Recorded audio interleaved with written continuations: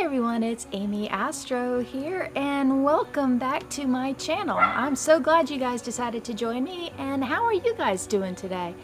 Uh, me personally, I am doing wonderful. I just went on a road trip and you know what? I didn't realize how bad I needed that road trip just to get out of town, clear my head, open road, long travel. It was, it was a really great trip. So what did I do on this trip? Well, stay tuned. I'm about to tell you all about it.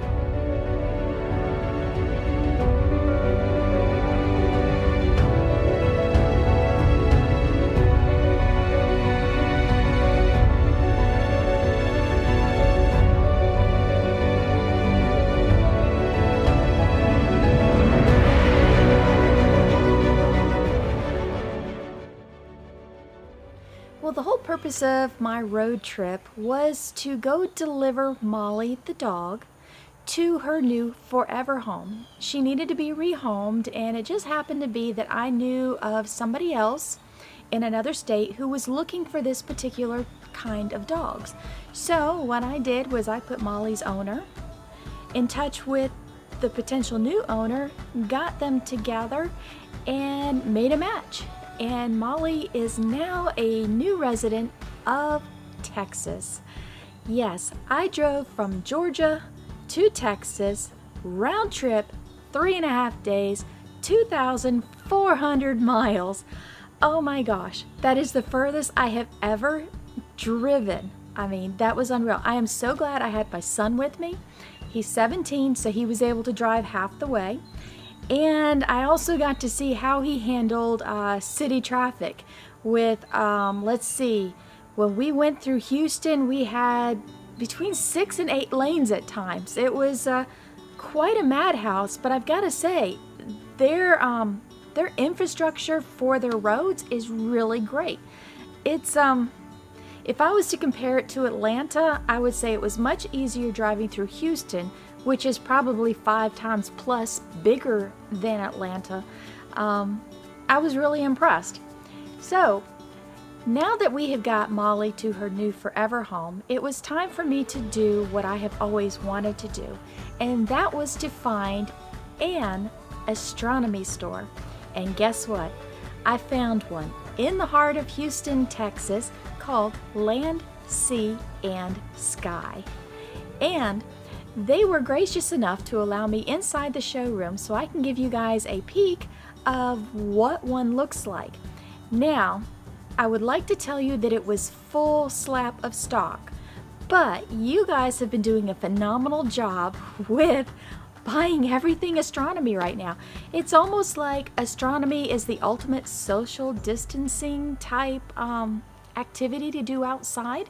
You know, we don't have to be around a whole lot of people. We can stay 20 plus feet apart with all our rigs and still yell at each other and have a great time. But you guys have been really picking up on your purchases. I am just thoroughly impressed. Keep buying more. We want more astronomy goods to make it here so we can buy and try and do all kinds of stuff. But I'll tell you what, touring that store was really cool, and um, the owners are fantastic. They were just really nice, answered all of my questions, and I just love it. So, what did I do while I was at that store? Well, what does every girl do? She leaves with a little bag. No, this is not a Tiffany's bag full of jewelry. This is full of astronomy gear. So, do you want to see what I purchased? Ah, uh, well, no, you don't want to see what I purchased. Oh, all right, I'm going to show you what I purchased because it's really cool. And you guys know I like projects and I am constantly doing projects. Oh, receipt, gotta hide that.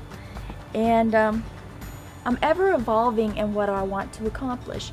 I've done, you know, the deep sky photography and I'm about to embark in doing um, planetary photography which I haven't tried yet. Um, I'm slowly acquiring what I need to do that.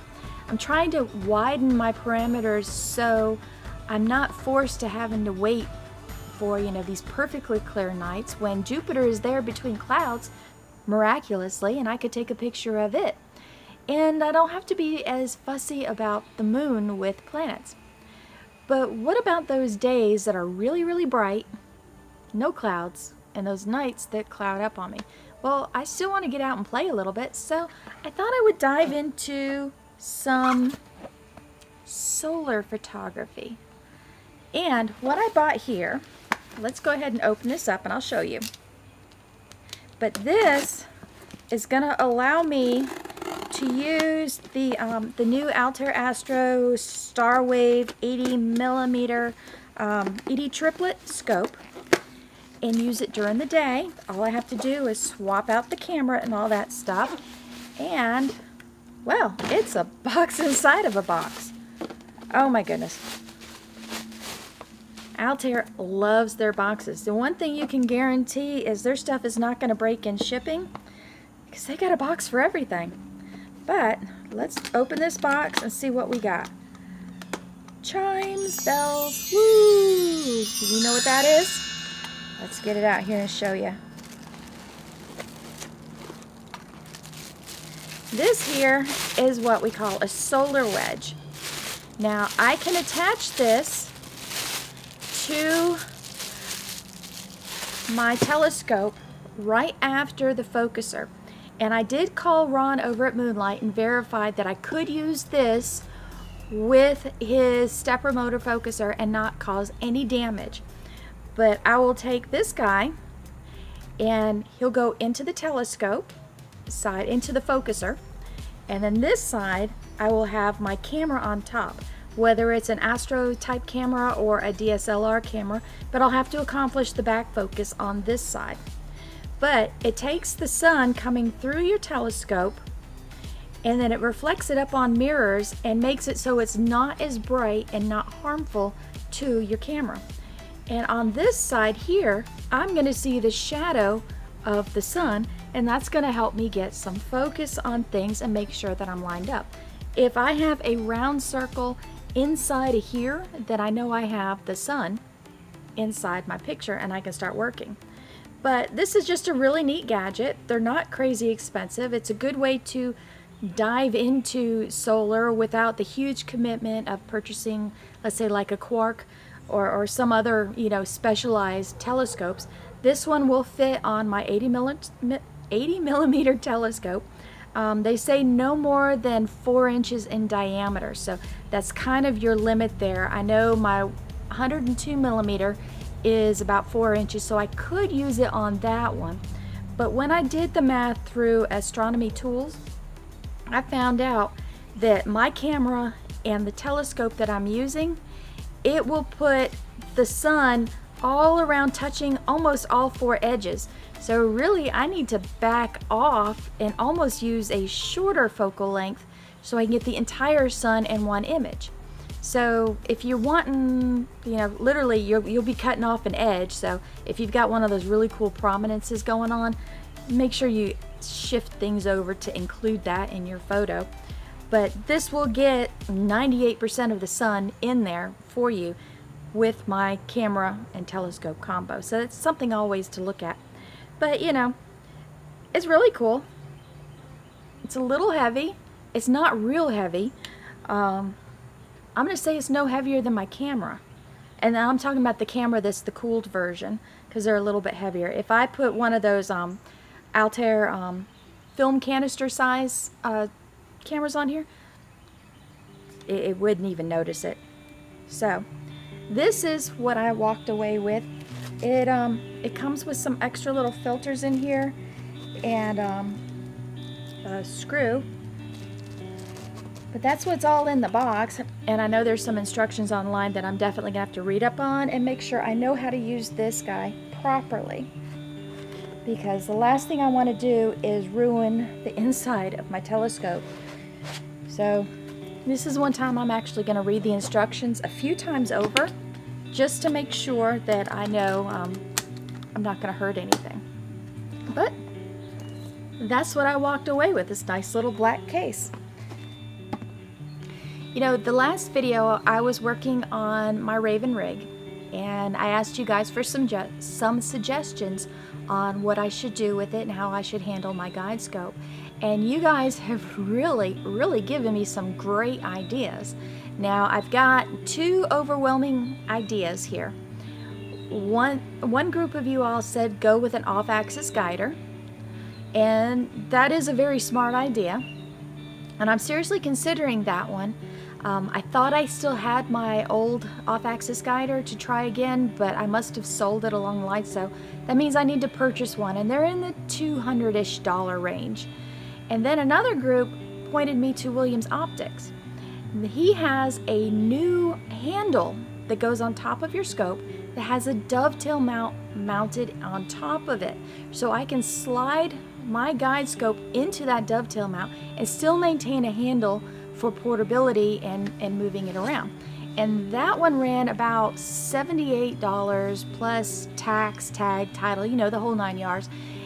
And when I'm looking at the off-axis guider, $200-ish, and then the handle under $100, and knowing I have to buy one of the two to make this work, honestly, I think I'm going with the handle for right now. It accomplishes what I wanted to accomplish by maintaining a handle and putting the guide scope on top. So what I did is last night I placed that order and we are waiting for that to arrive. And when that arrives, we're gonna come back with another video and I'll show you how things are lining up now. And um, yeah, you guys did great. Thank you, thank you so much for all those suggestions. I didn't even know that handle existed, so without you, this would not be possible. But please, if you have any more suggestions, just leave them in the comments. I'm reading through all of them. I'm weighing the pros and cons and what works well for me and all that. And I'm excited about this little collaboration that we have going on. So this is what I've got for you guys this week. It was just a short, sweet video, basically what I did on my trip. Thank you guys for following me along on this journey, answering my questions, giving me suggestions. Um, we had a great time. Really, we did. Um, Houston is an awesome place to visit. And we only had one full day in Houston and we had a great time. I want to come back for more. I really want to go check out some of those dark skies. Um, I saw so many possibilities of locations out there. That, I mean, the view is just unreal. How far out you can look in any direction. And um, that is just impressive. I mean, it's, it's very unlike the Georgia area. And it was really neat going through all the different states and watching how the terrain changed and the tree types changed. Uh, we went from these tall, spindly, ugly pines that Georgia is known for. Um, flew through Alabama. There were some pines, but then we started getting into some hardwoods. And um, I, I really do believe that Louisiana needs a GoFundMe for their roads. Those were the worst roads on my entire trip. And it was funny, you know, I, I've traveled there on I-20 and they were just horrible, horrible. And then I came home on I-10, the lower route, and those weren't quite as bad, but along I-10 there were these signs, these lighted signs, messages to drivers, and they cracked me up because they were talking about the importance of wearing a mask, which is very important. But the second item was is be sure to do your census and get counted because we need road money. yes, folks do your census so you can have road money to fix all those potholes that almost swallowed my SUV. All right, guys? So I hope everybody is doing well. As you can see, I'm doing great. Having a road trip was exactly what my soul needed. Now I need some clear skies to get out there, catch some photons for you guys.